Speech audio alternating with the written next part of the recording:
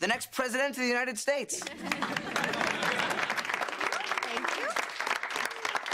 Uh, everybody, that makes me the first lady. I don't like him.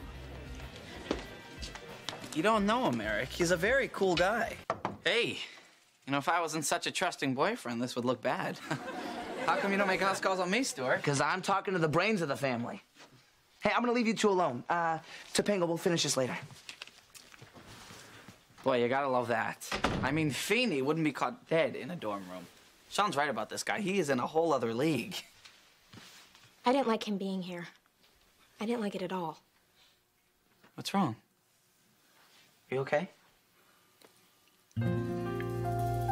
Yeah, uh, Topanga's real uncomfortable about your dorm visit. Why? she thought you were hitting on her. What if I was? What if I was? So, Topanga, what's your middle name? I don't want to play. Why not? I have a weird middle name.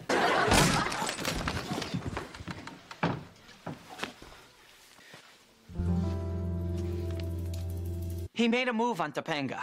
In the class? No, in her dorm room. He deserves what he got. This is all gonna go away. You leave Cory alone. You make this go away. Or I'll tell the dean that you came on to me. He then accused me of making a move on Topanga Lawrence.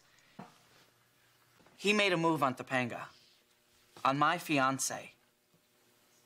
He used his power and authority to take advantage of her, and he told me that there was nothing I could do and that he was never gonna stop. So I did something. I mean, I, I, I realized, Dean, that this wasn't the smartest thing in the world to do, but it was all I could come up with at the time. We're not children anymore. When did that happen?